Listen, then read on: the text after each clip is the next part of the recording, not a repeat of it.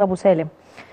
نشوف مشكلة تانية تتعلق برضو بموضوع الصرف الصحي لكن في منطقة الدخيلة بالإسكندرية نشوف تفاصيلها ونرجع نتكلم.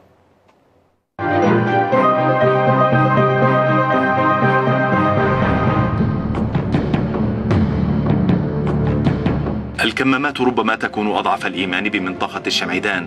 التابعة للدخيلة الجبل بغرب الإسكندرية لحماية أنفك من الروائح الكريهة التي تتسبب فيها مياه الصرف. بينما اعتاد البعض الآخر على الرائحة حتى أصبحت مألوفة بالنسبة له فتخلى عن ارتداء الكمامات بعد أن يئس من تحسن الوضع. قالوا هيجيبوا مواتير ويشفطوا لنا المية. فرحنا بالموضوع ده يومين اتنين. بعد كده جايبين موتور واحد بس وبايظ كل يوم التاني يبوظ. كل يوم التاني ده عيالنا لا عارفين ينزلوا. أنا ابني كبير وشاب كده. نط من البلكونة من تاني دور عشان يعرف يعدي يروح شغل الصبح. ثلاث عيال مش عارفين.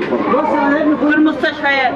وده ابنه تعبان برضه وعيال ابني مش عارفين ينزلوا. رجلهم وجعتهم من المية. وزرجيع وإسهال وناموس وقرف إحنا مش عارفين نعيشوا هنا. فالرائحة أصبحت ليس كل ما يؤرقهم لأن كل ما يخشونه الآن هو أن تتفاقم الأزمة ويصابوا بأمراض خطيرة معرضون لها. من جراء الحشرات والقوارض التي باتت تنتشر بكثافة. ما دفع الأهالي لمقاومة المشكلة بجهود ذاتية تتمثل في ردم الشوارع الجانبية ووضع الأحجار ليتمكنوا من دخول منازلهم. وعلى الرغم من هذا فهم لا زالوا متمسكين بأمل تدخل حكومي لإنقاذ أرواحهم ومعيشتهم التي وصفها بعض الأهالي بالمر.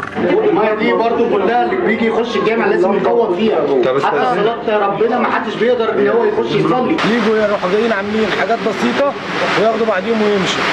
تمام؟ دي داخلة في المقاول. المقاول سايبها وبيعمل بلاط. طب بيعمل البلاط نيابا عن إيه والمحطة أصلا؟